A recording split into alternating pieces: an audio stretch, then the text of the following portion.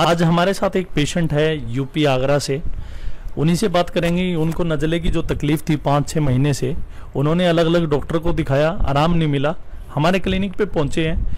बात करेंगे सबसे पहले अपना नाम बताइए। भावना है सर मेरा नाम। भावना है। क्या तकलीफ़ थी कितने दिन से? पाँच छः महीने से थी मेरे को नजदे की दिक्कत थी। नज़ले की तकलीफ़ थी। आपको क्या क्या लक्षण आ रहे थे नज़ले के? वो छींकें आती थी सुबह सुबह और नाक से पानी गिरता था। और खांसी आती थी। ये दिक्कत थी। आँखों में खुजली गले में खुजली और आँखों कानों में भी होती झंझनाहट सी। आपको कभी कभी सांस लेने में तकलीफ़? हाँ जी।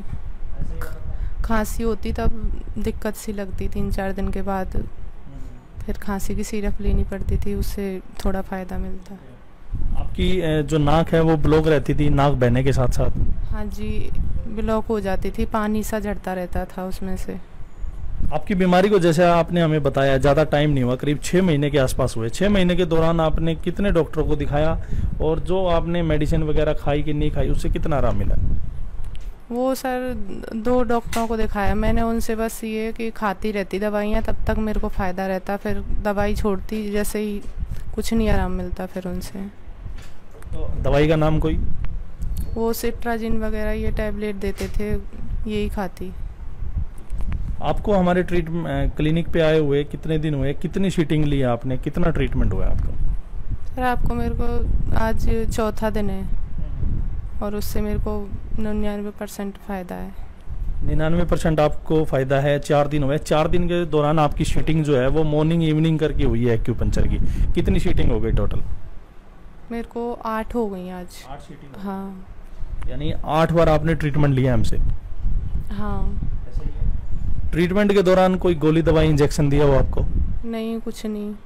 कैसे ट्रीटमेंट करता है हमारा क्लिनिक ये मैग्नेट थेरेपी एक्वा प्रेशर द्वारा इसके द्वारा करते हैं। आपको कैसा लगा ट्रीटमेंट ना आपको कोई गोली दवाई खानी है ना इंजेक्शन है कुछ नहीं है? ट्रीटमेंट अच्छा लगा ये कुछ नहीं है गोली दवाई वगैरह तो इससे ही करते हैं बस। आपको कितना रिलीफ मिला है टोटल अभी मेरे को 99 परसेंट आपकी उम्र के, आपकी उम्र सिर्फ़ 26 साल है, आपकी उम्र के बहुत सारे भाई है, कोई बहन है, या उससे ज़्यादा उम्र के जो लोग परेशान हैं, वो लगातार दवाइयाँ खा रहे हैं अलग अलग डॉक्टर्स के पास जाते हैं, वो हर जतन करते हैं, घरेलू नुस्खे भी करते हैं, उसके बाद भी वो ठीक नहीं हो रहे, इतनी बड़ी समस्या भी नहीं है, हालाँकि इसका इलाज भी नहीं है तो उन लोगों को क्या क्या रिकमेंड करना चाहेंगे, क्या बताना चाहेंगे उनको क्योंकि हर युवा पीढ़ी हर बार दवाई के पीछे भागता है, चाहे वो छोटा से छोटे से दर्द हो या वो बड़े से बड़ा दर्द हो, हर चीज़ के लिए दवाइयाँ, ऐसा नहीं है कि कोई सांस के लिए कि एक डॉक्टर के पास ना जाके किसी योगा कंसल्टेंट के पास जाए या फिर किसी एक्सरसाइज के लिए फिजियोथेरेपिस्ट के पास जाए या कोई पहली बार होम्योपैथी वालों के पास जाए या फिर आयुर्वेद वालों के पास जाए सौ में से सौ लोग आज के टाइम में दवाइयों की तरफ़ भाग रहे हैं।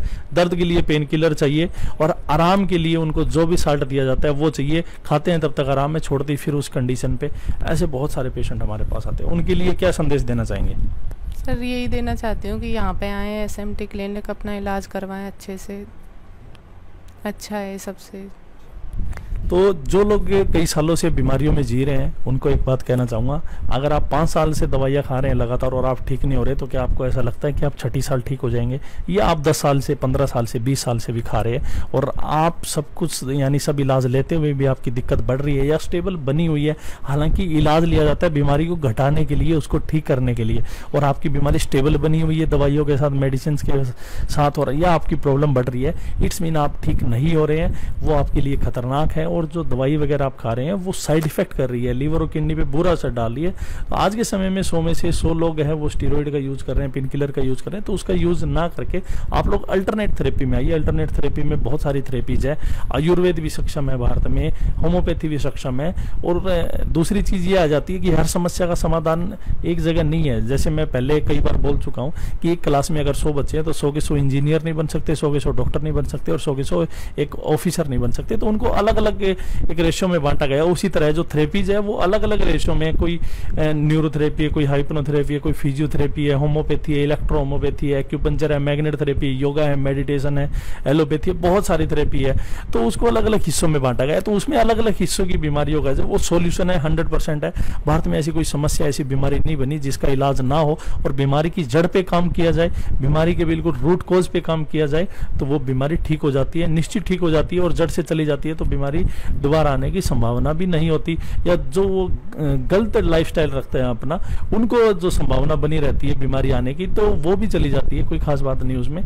तो आप थोड़ा सा मेडिसिन सेट के अल्टरनेट थेरेपी की तरफ़ आएँगे तो आप अवश्य अपनी बीमारी को ठीक कर सकते हैं। और इसी के साथ जो लोग दर्द में जी रहे हैं, जिस तरह की घुटनों का दर्द, आजकल रिप्लेसमेंट बहुत ज़्यादा हो रही है, या फिर हम बात करें गर्दन के दर्द की, कंधों के दर्द की स्लिप डिस्क की बात करें तो अभी इन इन मौसम, जैसे कि ठंडे मौसम है या फिर बरसात हो रही है उन मौसम में, जो ठंड बढ़ी है, उससे भी अपना थोड़ा ध्यान रखें और अपनी बीमारी को एक्सरसाइज से ठीक करने की कोशिश करें, ना कि पेन किलर से ठीक करें। आपके पास अगर कोई दूसरी थेरेपी लेने का टाइम नहीं है तो आप अपने घर पर भी एक्सरसाइज कर सकते हैं। आपको, आपने कभी ऐसा पेशेंट नहीं देखा होगा कि पाँच साल उन्होंने एक्सरसाइज करी योगा करी और उसको आज भी ऐसी बीमारी बनी हुई नहीं, कभी नहीं। हाँ आपको ऐसे पेशेंट मिल जाएँगे, बीस साल दवाई खाते हुए हो गए, आज तक ठीक नहीं हुए, बीमारी बढ़ रही है डोज बढ़ रही है। तो उस चीज़ को भी समझने की ज़रूरत है, ये आपको समझना पड़ेगा। धन्यवाद।